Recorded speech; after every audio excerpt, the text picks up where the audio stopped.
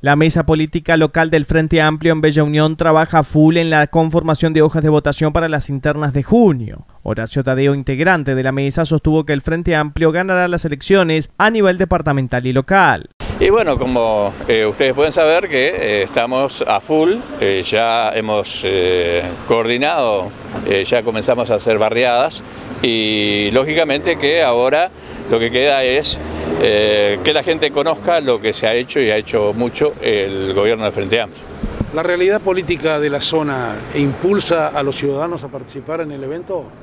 Sí, sí, por supuesto. Es decir, más allá del descrédito que puede tener el sistema político, en nuestro departamento, y especialmente en Bella Unión, eh, hay motivos eh, fundados para que podamos decir todo lo que hemos hecho, cosa que otros gobiernos de otros partidos no han hecho ni por asomo.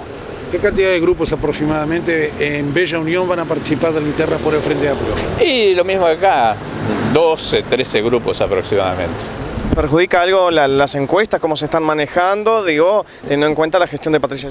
No, no, porque eh, con solo apelar a, la memoria, el ciudadano va a estar votando al Frente Amplio. Así que lo que se ha hecho a nivel nacional, a nivel departamental y a nivel de Bella Unión, eh, digamos, vamos a mantener la, intendencia y por supuesto que el municipio de Bella Unión. Eh, durante esta visita que hacen a nuestra ciudad, ¿van a mantener reunión con otros dirigentes de otros sectores de la izquierda?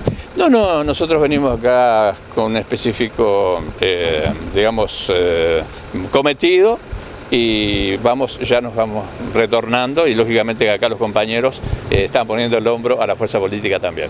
Entre ellos figuró una entrevista con la intendenta. Sí, sí, pero más que nada eh, fue un tema mm, puntual y nada más.